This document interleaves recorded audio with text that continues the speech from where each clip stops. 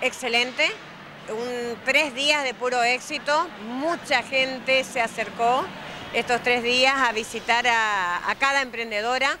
Hemos contado con un 100% de las emprendedoras presentes en su stand, en lo que tenga que ver aquí en el Parque del Conocimiento, se llevó adelante en tres espacios.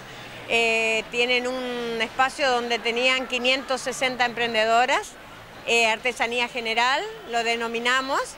Después teníamos uno de la carpa verde, que eran pura y exclusivamente plantas, y otro el de gastronomía con eh, un público colmado los tres días. Superador es el balance, así que decir que este evento se desarrolló con total normalidad y también comentar que las ventas de las emprendedoras fue excelente.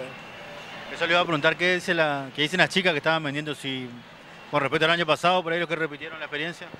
Eh, comentaban que el año pasado han tenido un poco menos de venta, que este año han superado sus expectativas.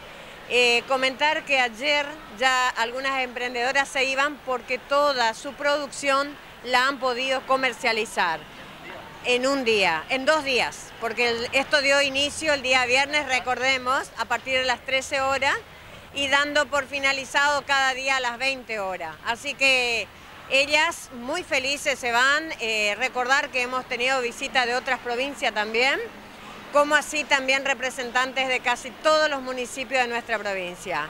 Así que un éxito total lo que fue la Expo Mujer 2019. la novedad del cobro electrónico, ¿no? Que pudieron cobrar a través del Postnet. Exacto, eh, a través de la agencia DEMIS, que desde el año pasado las emprendedoras en su mayoría se han registrado para poder eh, acceder a esta forma de pago que es a través de la tarjeta de crédito o débito. Esto también ha dado eh, un excelente resultado y también es un, un buen aliciente, ¿no es cierto?, a las emprendedoras poder comercializar más aún sus productos.